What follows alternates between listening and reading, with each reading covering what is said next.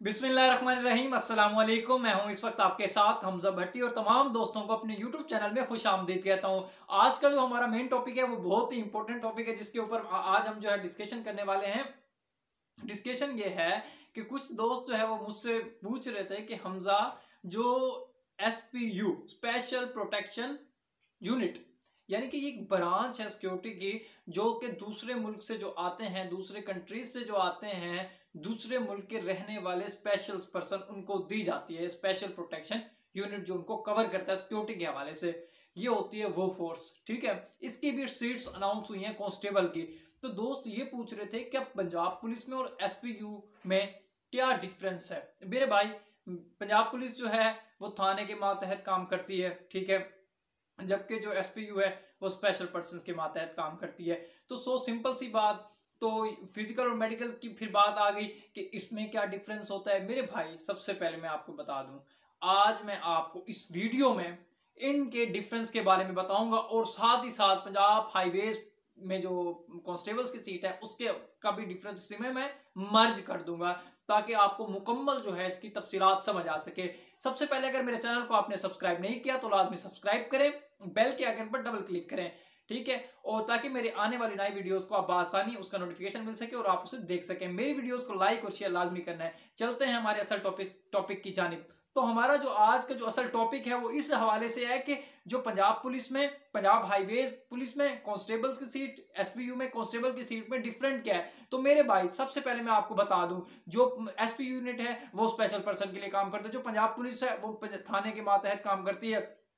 और इसके अलावा पंजाब हाईवेज है वो ट्रैफ़िक पुलिस के अंडर काम करती है। तो ये सारी चीज़ें जो है गवर्नमेंट के काम आयाते में आती हैं। तो आप तमाम दोस्तों ने तमाम सीट्स पे जो है अप्लाई करना है। किसी ने ये नहीं सोचना कि मैं पंजाब पुलिस में या इसमें हाँ वो बंदा सोच सकता है जो सपोज़ कर लेते हैं, वो पुलिस में जाना चाहता है, हाईवे में नहीं जाना, हाईवे में जाना चाहता है उसमें नहीं जाना चाहता है एस में। तो वो जो है उसमें तजाद पैदा होता है, वो उसकी अपनी दिल की पर्सनल मसला है, ठीक है? तो आप सबका क्वेश्चन ये था जिस, जो जो दोस्त मुझसे क्वेश्चन कर रहे थे कि हमजा भाई ये बताएँ कि इसमें डिफरेंट क्या है? क्या हमें कुछ ज़्यादा, यानी कि, देखें, मैं आप सीधी सी सिंपल से अल्फाज में अपने बात को ख़त्म करूँगा कि यार देखो, पंजाब पुलिस की है, वो चौबीस घंटे ऑन ड्यूटी रहती हो जो ट्रैफ़िक पुलिस है मोटरवे पुलिस पे आई हुई पंजाब हाईवे में, उस पर तो आठ, नौ, दस घंटे ड्यूटी होती है। जो एसपी स्पेशल प्रोटेक्शन होते हैं, उसका मुझे सही तरीके से तो नहीं पता, लेकिन मैं उसका अंदाजे के मुताबिक कह सकता हूँ जितना प्रोटोकॉल दिया जाता है, उतनी गाइडलाइंस पे उतरना पड़ता है।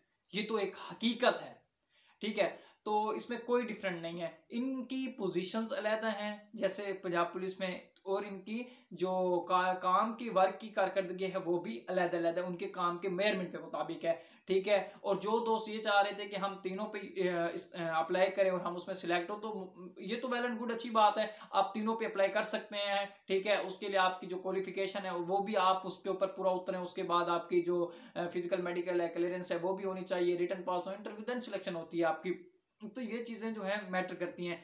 तो इसमें कोई इतना खास इनमें डिफरेंस नहीं है। चाहे वो कांस्टेबल हाईवे का हो, चाहे एसपीयू का हो या पंजाब पुलिस का कॉन्स्टेबल तो कॉन्स्टेबल ही होता है। वो काम किसके मातहत कर रहा होता है? गवर्नमेंट के काम कर रहा होता है। मातहत तो आप कांस्टेबल जिस भी पोजीशन पे जाएँ, जाना चाह सकते हैं। ये मैंने आज आपको इसका डिफरेंस बताया है कि पंजाब पुलिस में उसके थाने में कारकर्दगी हाईवे पे मोटरवे की कारकर्दगी और एसपीयू में स्पेशल पर्सन की कारकर्दगी को जाँच पड़ताल की जाती है उनकी। ये उनका वर्क होता है जो डिफरेंट डिफरेंट महकमे का डिफरेंट काम होता है, उसको वो हैंडल करते हैं।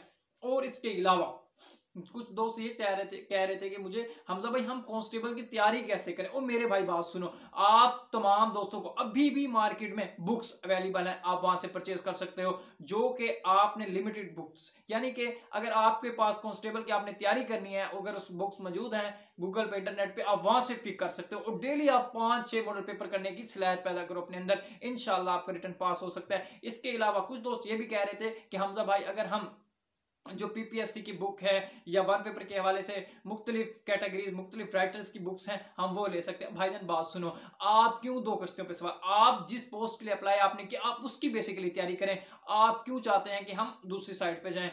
तो मैं आपको कहने का, मेरा मकसद सिर्फ़ यही है कि आपने जिस पोस्ट पे अप्लाई किया, आप सिर्फ़ उसी की तैयारी करें, ना कि आप दूसरी तैयारी करें।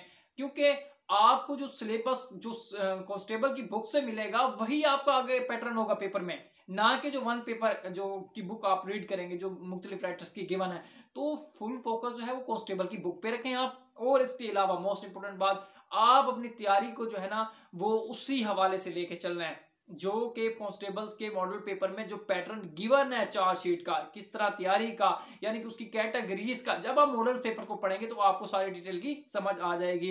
इसके अलावा ये तो था आपकी बुक के हवाले से। आप, इसमें मैं कंपनियों के नाम तो नहीं लेना चाहूँगा तो आप जो है कॉन्स्टेबल की, जो आपको ठीक लगे, जो आपको रिकमेंड की गई हो किसी टीचर्स की जानब से, या जो आपको पसंद हो, आप वो बुक जो है परचेज कर सकते हैं। इसके अलावा इंटरनेट पे भी अवेलेबल है डाटा कॉन्स्टेबल्स का, आप वहाँ से मॉडल पेपर्स भी डाउनलोड कर सकते हैं। और मैं तमाम दोस्तों से इजाज़त चाहूँगा, अगर आपको मेरी वीडियो अच्छी लगे, उसे लाइक और शेयर लाजमी करना है। अल्लाह निगेबान पाकिस्तान जिंदाबाद।